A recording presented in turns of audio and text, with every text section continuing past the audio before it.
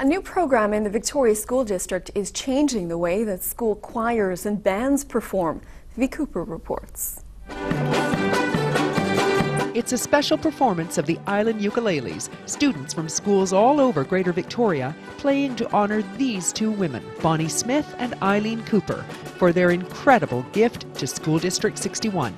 They're all barcoded so they can check them out for four months and send them back. Smith and Cooper are retired music teachers. Throughout their careers, the sheet music was ordered, collected, stored in boxes in various schools, passed back and forth between teachers as needed, basically scattered and disorganized.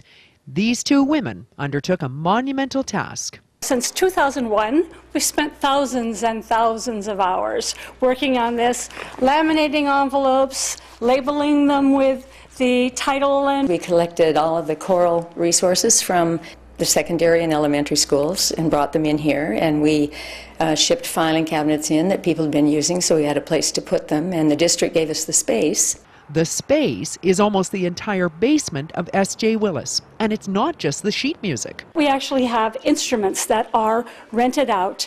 They are again barcoded. We keep track of who has them, and we get them back in the summertime to repair. We get the music back so we can go through and make sure that everything that's supposed to be here is here. I'll be teaching the teachers how to use the recording studio. Retired teacher Len Kanoki is in charge of the synthesizer, another resource in the Cooper Smith Library library.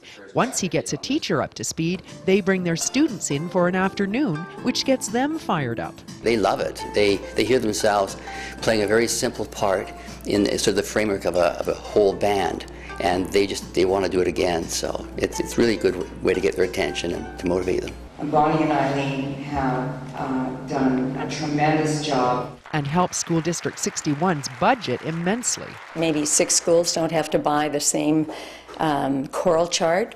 You know, they can use it in different years. By having it in one place, they can borrow it. So this shows the keywords that they would have been able to search by. Last year alone, more than 3,400 pieces of music were signed out. No matter what happens to the district in terms of financial support for music, it's here. For this generation and all those to come. This CHEK program is brought to you in part by Victoria Foundation, connecting people who care with causes that matter.